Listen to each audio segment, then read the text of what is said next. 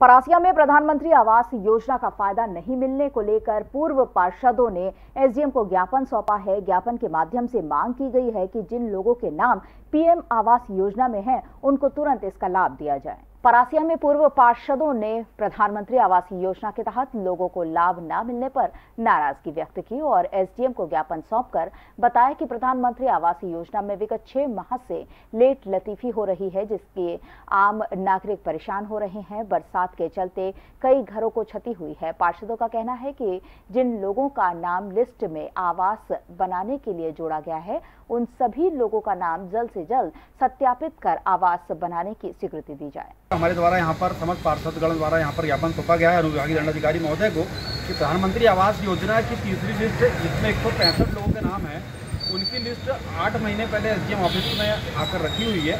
उस पर अभी तक कोई प्रशासनिक कार्रवाई, कोई विभागीय कार्रवाई नहीं की गई है। इसको लेकर हमने आज यहाँ पर ज्ञापन दिया है कि इसमें लेट लतीफी हो रही है। हितग्राही प्रधानमंत्री आवास योजना से वंचित है।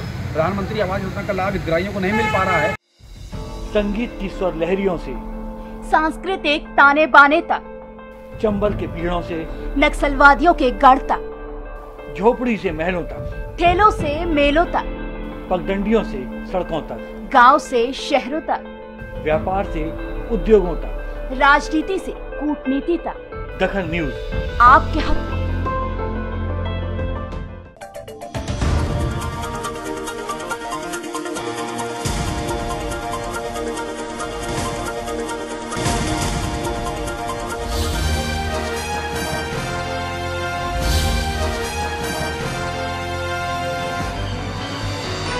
आप देख रहे हैं दखल न्यूज़।